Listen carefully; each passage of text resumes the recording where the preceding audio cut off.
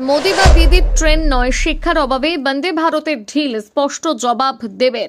প্রজাপতি বিতর্ক, box office সংগ্রহের হাল হাকিকা দেখা, সিনেমার কাজ নিয়ে বেশ কিছুদিন খুব ব্যস্ত ছিলেন দেব। অন্য কোনো দিকে তাকানোর ফুসরত পাননি। এখন প্রজাপতি বিতর্ক অন্তর্হিত। ছবি ভালো ব্যবসা করছে, পুরস্কারও এসে গিয়েছে ঝুলিতে। এবারে সাংসদের দায়িত্ব পালনে নামলেন দেব। সপ্তাহের প্রথম দিন ছুটলেন নিজের কেন্দ্র পশ্চিম মেদিনীপুর ঘাটালে। এদিন ঘাটালে সংবাদ মাধ্যমের মুখোমুখি হয়ে আবাস দুর্নীতি থেকে। বন্দে ভারত এক্সপ্রেসে আক্রান্ত হওয়ার ঘটনা সহ বিভিন্ন রাজনৈতিক বিষয় মুখ খুলতে দেখা যায় দেবকে। পাশাপাশি প্রজাপতি বিতর্কের প্রসঙ্গ তুলে নিজের দলের কর্মীদের উদ্দেশ্যে বার্তা দেন তিনি।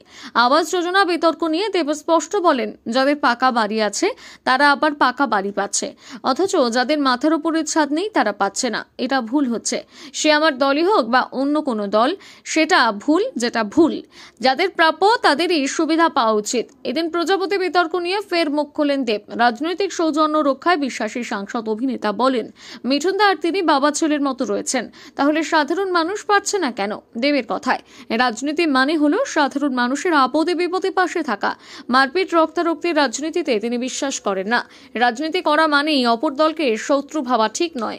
বিরোধীদের বিরুদ্ধে খুব একটা সুর চড়াতে দেখা না গেলেও মুখ্যমন্ত্রী মমতা বন্দ্যোপাধ্যায়ের প্রশংসা বারবার শোনা গিয়েছে দেবের মুখে। এদিন তিনি বলেন যে কোনো বাঙালি মমতা বন্দ্যোপাধ্যায়কে প্রধানমন্ত্রী হিসেবে দেখলে খুশি হবে। কর্মীরা সকলেই দলনেত্রীকে প্রধানমন্ত্রী হিসেবে দেখতে চান।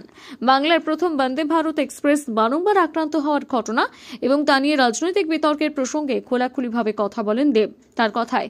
এটা মোদি বা দিদির ট্রেন নয়, সাধারণ মানুষের ট্রেন। কোনো রাজনীতির বাহন নয়, শিক্ষার অভাবে ট্রেনে ঢিল মারা, আগুন লাগানোর মতন কাজ করা হয়।